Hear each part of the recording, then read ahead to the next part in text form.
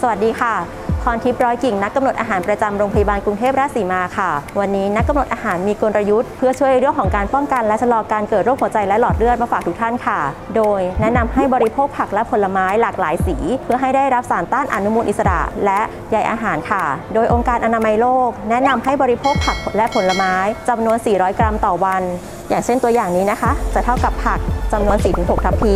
และผลไม้จำนวน 2-3 ส่วนค่ะ ซึ่งอัตราส่วนของผลไม้จะแตกต่างกันไปขึ้นอยู่กับขนาดของผลไม้นะคะ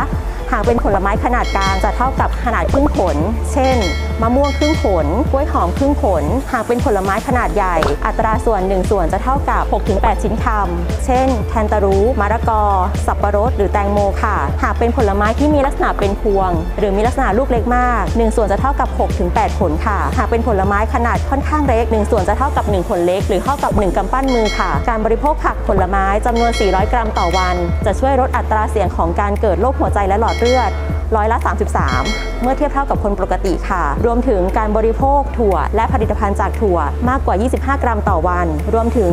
หลีกเลี่ยงการบริโภคอาหารกลุ่มคอเลสเตอรอลและไขมัน เช่นของทอดและแกงกะทิหลีกเลี่ยง อาหารหรือเครื่องดื่มที่มีส่วนผสมของน้ำตาล ก็จะช่วยลดภาวะหลอดเลือดหรือว่าโรคหัวใจและหลอดเลือดได้ค่ะ รวมทั้งต้องมีการเพิ่มกิจกรรมทางกาย เช่นการออกกำลังกาย อย่างน้อย 15-20 นาทีต่อวัน หรืออย่างน้อย 3-5 วันต่อสัปดาห์ จะช่วยหลีกเลี่ยงภาวะเหล่านี้ได้ค่ะ หากทุกท่านมีข้อสงสัยสามารถติดต่อสอบถามข้อมูลเพิ่มเติมได้ ที่แผนกโภชนะบำบัดขอบคุณค่ะ